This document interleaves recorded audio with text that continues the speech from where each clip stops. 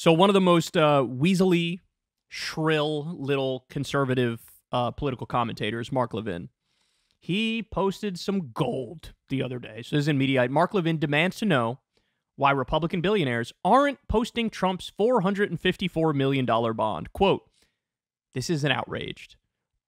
Oh, you can't make this stuff up, man. Oh, you can't make this stuff up.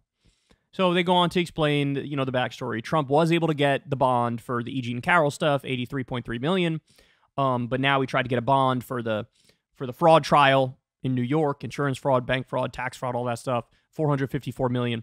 And of thirty companies, zero of them would issue the bond, zero.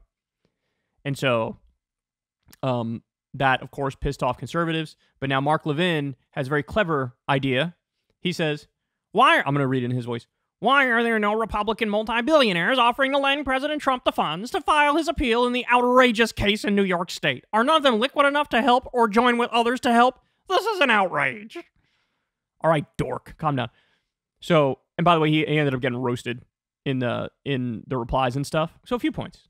First of all, why would anybody need to help him if he is this massive billionaire that he claims to be? I, I don't like, okay, he got himself in trouble. He has to deal with it. In theory, you know, we were led to believe he probably has the funds. So fucking pull yourself up by your own bootstraps, son. This is the old conservative idea. Like you take care, you handle your own business. This is your responsibility. You got the money, you do it.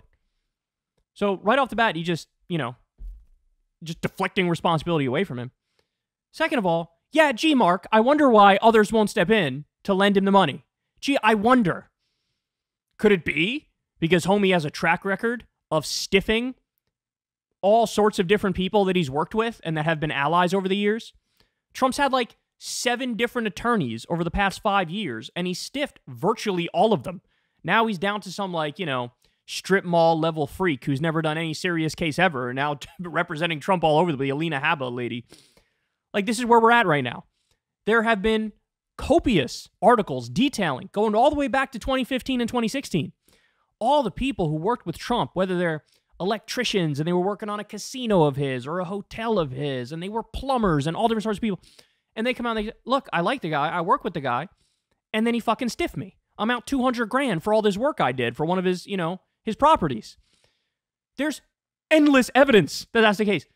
Also, by the way, let's be clear apart from this New York fraud that we're talking about, which they think is bullshit, it's not. But he's already had to pay millions of dollars for the Trump University fraud. It was like over 20 million, and a bunch of people proved it was fraud, and he had to pay it out. Now, part of that deal was he doesn't have to admit it was fraud. It's all, you know, it was like a let's cut a deal outside of court so this doesn't have to go any further. And he clearly paid them enough where they would keep their mouth shut, but it was fraud. He committed fraud. And so this is this is the best you can come up with. It's an outrage. They won't pay for that. By the way, you guys remember uh, in 2020 when Trump was trying to do the whole stop the steal thing, he raised over 250 million dollars to quote stop the steal. Nobody knows where that money went. Nobody knows where it went. By the way, Laura Trump just took the reins of uh, the RNC, and they're going to turn that into an organization that is responsible for trying to get Trump across the finish line in the general election. By the way, all the down ballot races, you're asked out, son. Good luck. You raising funds to help with your race? I wouldn't count on that. They're probably going to redirect it all to him. So he's got all these PACs. He shook down his people before. Now he's got the RNC at his disposal. He's got multiple hundred plus million dollar properties. Why the fuck would anybody else? He should have to pay this himself. And again, as y'all notice, None of these people ever get into the specifics of the case to say, here's exactly why I think this is wrong and this is wrong and this is wrong. They don't do that because they know the second you entertain any of the specifics, it's impossible to deflect and obfuscate and pretend like there's no merit to any of it. This is why we always say it's 91 criminal charges against him. Is the contention of all these people who are still defending him literally in zero of these cases did he do something wrong? Zero even if you want to be as kind to Trump as possible, it's like you're gonna find at least 12 of those fuckers are real charges that he fucking did it, right? But they can't help themselves. They can't help themselves. And by the way, Mark Levin, Weasley little prick, was a big uh, DeSantis stand when he thought DeSantis was going to be the one to carry the mantle forward for the Republican Party. As soon as it became clear, God damn it, our boy's not breaking through, flips on a dime, right back to coddling Trump's nutsack. Ben Shapiro just did the same thing. He was riding hard for DeSantis in the primary. As soon as it became clear, oh, it's going to be Trump, Ben releases a video where he says, Not only am I going to vote for Trump, I'm going to fundraise for Trump. And he goes as far as to say, I would walk over broken, crawl over broken glass to vote for Trump. I don't know if he said crawl or walk, one of the two. I'm going to go over broken glass to vote for Trump, to support Trump.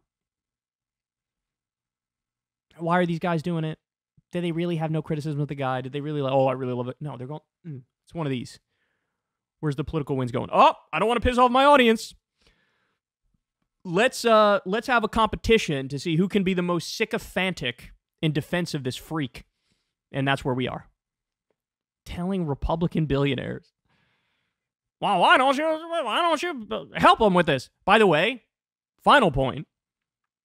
Let's assume for argument's sake that happens. Let's assume, you know, the remaining Koch brother or one of the other Republican billionaires steps in and they're like, you know what? Mark, you're right. I'm going to pay off this fine for him. No problem whatsoever.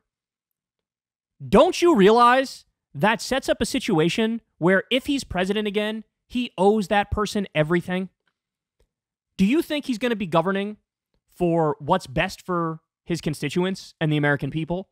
Do you think he's going to be making decisions based on the health of the nation? No. In a situation like that, he is a puppet of whoever would pay that. And by the way, he's already taken a tremendous amount of money from corporations, a tremendous amount of money from other billionaires. He's got all these deals with these other foreign governments. Jared Kushner took millions from Israel. Uh, Jared Kushner took two billion from Saudi Arabia. Trump himself has taken at least tens of millions from Saudi Arabia with the LIV Golf events and things of that ma- that nature. There was another article about how the government of Oman has given Trump a tremendous amount of money. He's already subservient to these other interests. He'll make de- biased decisions for them. And Mark Levin wants to add to that. Let's add another couple billionaires who are really going to be the real owners of the country because they helped the president pay off a $464 million, $54 million fraud fine. Here's a pro tip, just don't do the fraud in the first place. How about that? Try that one. Hey y'all, do me a favor and like and subscribe. It helps out big time in the algorithm. Click the bell as well for notifications when videos drop and watch that video on screen right now. You know you want to.